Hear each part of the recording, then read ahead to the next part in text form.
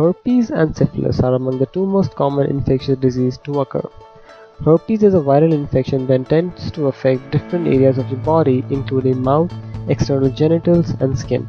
Talking about its symptoms, it mainly manifests as pain and itching in genitals, blisters on the skin, ulcers, and scabs.